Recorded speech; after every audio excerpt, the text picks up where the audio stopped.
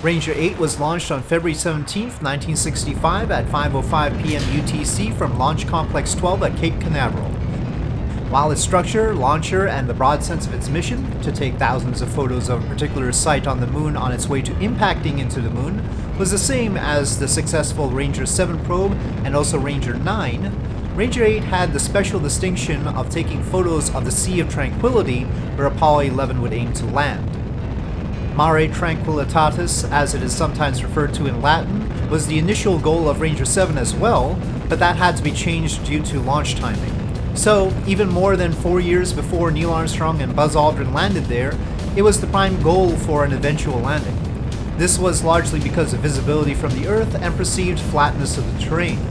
The other key location, and landing site of the first Surveyor mission, was the Ocean of Storms, or Oceanus Procellarum.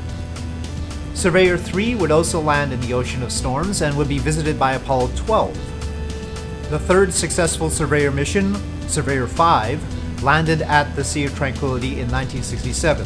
Surveyors 2 and 4 failed. Ranger 8 captured 7,137 photos of the surface of the moon in its final 23 minutes using six cameras, two wide-angle cameras and four narrow ones. Each set of cameras had its own power and transmitters to ensure that if one set failed, the other still had a chance. The 367 kilogram spacecraft did not carry any other science, and it impacted the moon at a velocity of around 2,600 meters per second, or roughly 6,000 miles an hour, a small impact compared to what the moon was used to, but it paved the way to a small step that would change the world.